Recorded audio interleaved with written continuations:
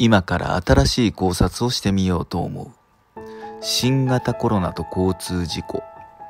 ちょっと新しい視点で見てみようと思う。2019年の交通事故件数38万1237件、負傷者数46万1775人、うち重症者3万2025人、うち死亡3133人。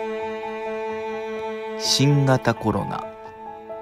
感染者数13万7787人。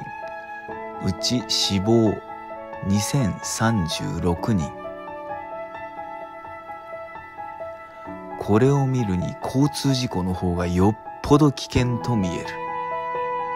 今のコロナ対策は交通事故に例えると外は車がたくさん走ってて危ないからみんな外に出ずに家にいましょう。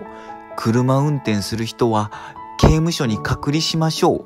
外を出歩けるように車を全部壊しましょう。ってなことよ。交通事故にならないようにちゃんとルールを守って気をつけて生活してるよね、みんな。角に車を危険視するときは子供連れてるときとご老人が歩いてるとき、なんか似てない？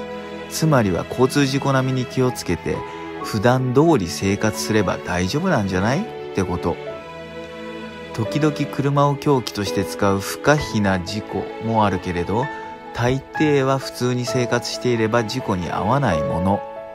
さらに事故に遭った時の方がよっぽど大変だよ。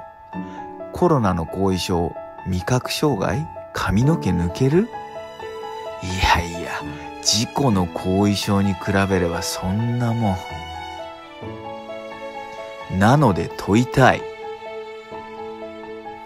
コロナを恐れて自粛や自粛警察をする人は同じように車も恐れて家を出ないのかと。